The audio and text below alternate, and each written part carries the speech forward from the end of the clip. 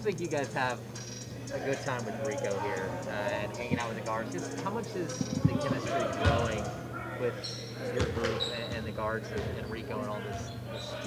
Yeah, Rico's a, a, big impact on this team. It all started during the summer um, when I met him um, with Tyrese. We had a really good time, really good workouts. Um, he's been pushing us. Uh, he's kind of been speaking his mind, and um, he's been a real impact on the team. He said a lot about, you know, like. Uh, Sorry, I just blanked out. just blacked out. Davion, people don't always get excited about defense, oh but um, this fan base is really just, you know, kind of pumped up watching you, you come into your own here. What do you feel that that love like from the community already, and, and what's that what's that been like? Yeah, I mean, I feel the love. Uh, Sacramento got a really good fan base, but um, I mean, it's been good. I just kind of try to go out there and be myself um, and, and, try to do whatever it takes to win. So you see me out there playing hard. I mean, like I said, just being myself. Is that kind of exciting to you too, to, to know that people are watching you that close and, and want to see you perform? Yeah, for sure. Like the other night, I seen on social media they posted Paul George missing a jump shot. I'm like, bro, he just missed the jump shot. I had nothing to do with it, but but it's it's real exciting just to have the the fan base and everyone uh, noticing my defensive defensive end. What just kind of stands out to you after kind of midway point here of these preseason games? Uh, we just what stands out is uh, us building trust with each other. Um, you see it um, time from game. We have mental mistakes, but we keep playing. Like Luke said before, like we have mental mistakes, but we keep playing. But we building off each other and playing off each other. Did you like having that kind of test? And you know, they talked about the Paul George Met thing when you pick him up a couple times. Hmm. Having a defender that's somewhat bigger. I know it's nothing new to you, but in the NBA, is it is it even that bigger of a, much more of a test for you? Yeah, for sure. Every night, I mean, it's always going to be someone that's uh, bigger, really good. Like the next night, I got Dame, CJ, a lot of really good guards in this league. So it's a really test for us and, and for me defensively.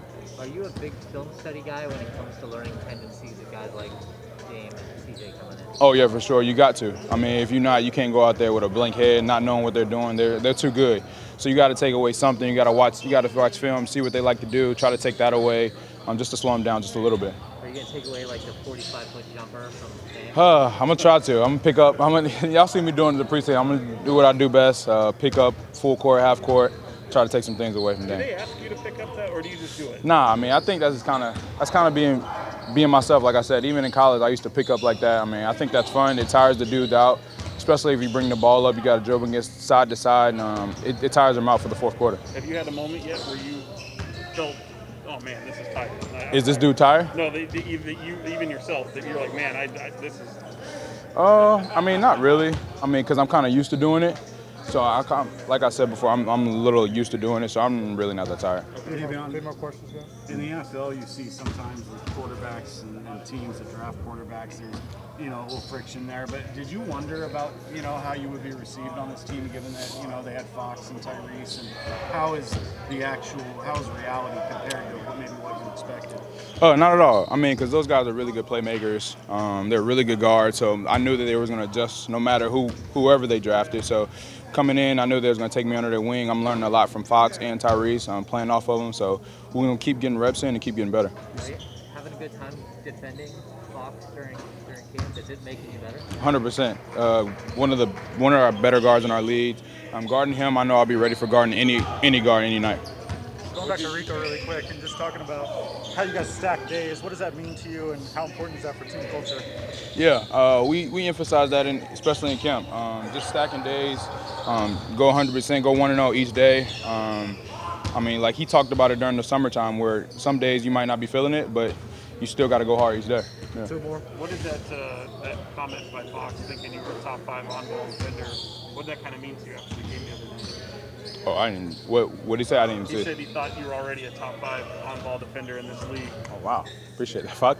But uh, I mean, it means a lot. I mean, especially because I'm guarding him in practice, and I mean, he, he he's feeling it. But guarding Fox, man, he's really good. He, he's really good. He can shoot the ball. He can pass the ball. Like he can run the team. I mean, he's he's making me a lot better. Um, especially going out into to a real game, I'm getting to guard those guards, and it's not it's not it's not the same because when I'm guarding Foxes, it's, it's different. it's a different feeling. You really hadn't heard that comment from him yet? No, I haven't heard that. Are you six one or six two? I'm going with six two. Me too.